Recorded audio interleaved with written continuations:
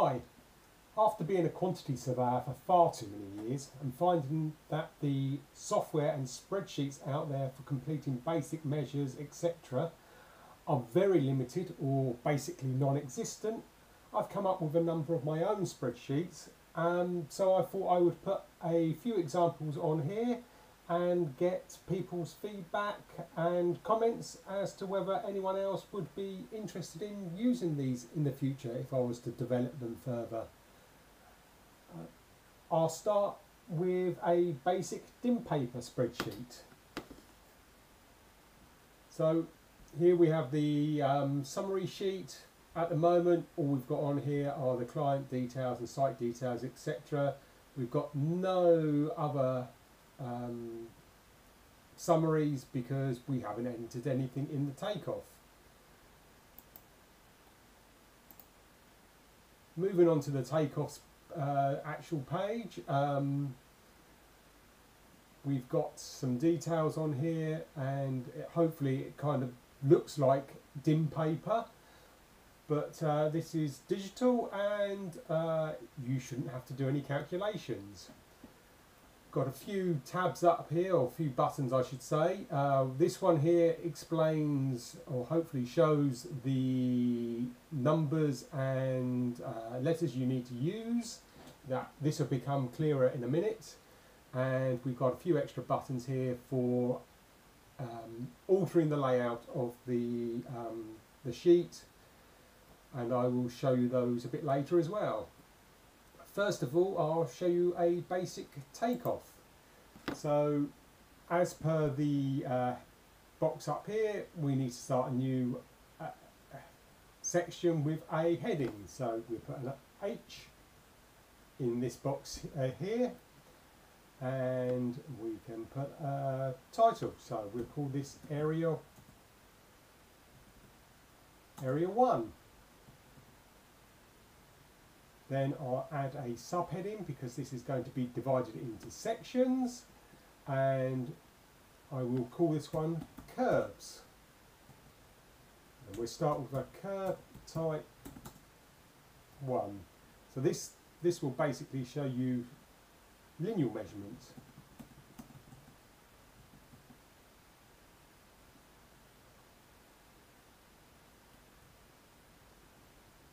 So all I need to do in here is enter my lengths, random lengths here at the moment, but um, there you go. And in this column here, we just enter the multiplication.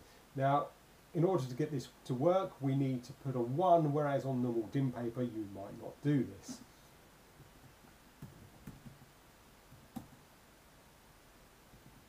So calculations are worked out automatically for you and then we can put a rating. Now obviously this could be linked up to a rates page or something like that but we will come on to that at another time. Uh, we have our curb type 2 now and we just enter a couple of those and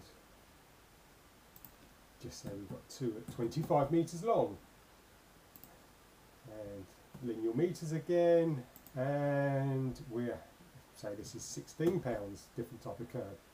Now in order to summarize this come to this box here and up here it says get a subheading total by putting in a number 5 so that's what we do 5 so that is calculated for that section. Uh, we have a new subheading and let's do some areas. So let's just call this roads.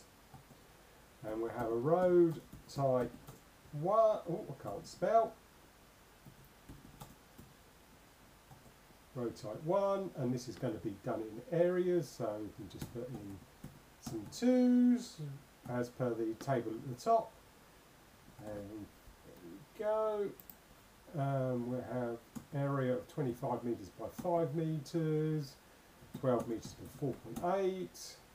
We'll leave it at that for the moment. Um, two of those, 1.5 of those, metres squared, and 85 pounds. and we'll have some foot paths and we can have one of those at 14 metres long by 2 metres wide and one at 25 by 1.8. It really doesn't matter what sequence you enter these uh, figures in. Um,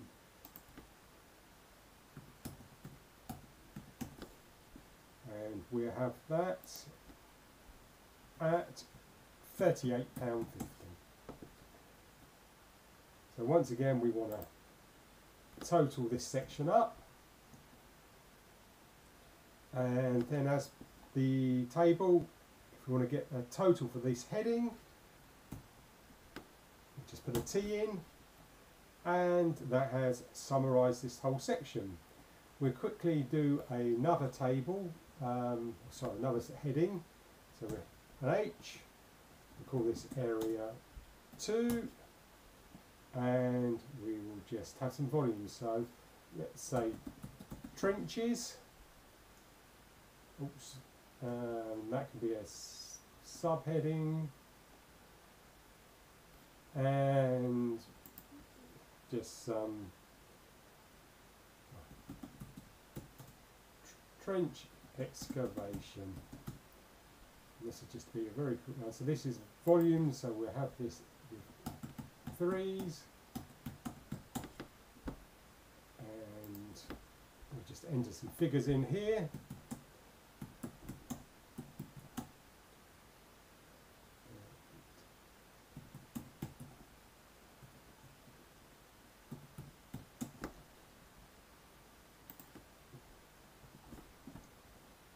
Just doing this very quickly just to show you how it works.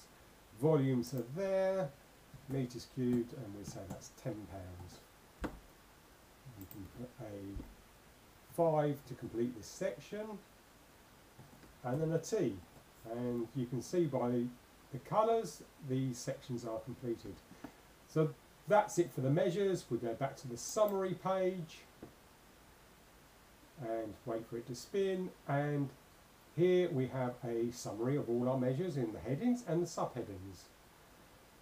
Going back to this page, now if you wanted to send this to your client, you don't really want these ones in here, you want a better layout, so you can click on a button to have a client layout, which hides that column.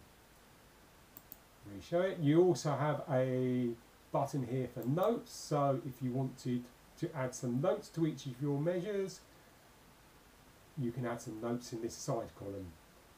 Um, you've also got the opportunity, say you've been doing your measures and you've missed some measures, say here we missed some curb measures, we can actually add some new um, rows by clicking on this button. Say we want to add four new rows, do that.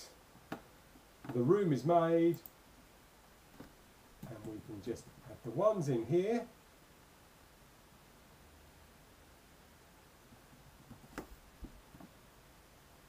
and if I just add 5 at 10 meters you will see that the formulas all still work.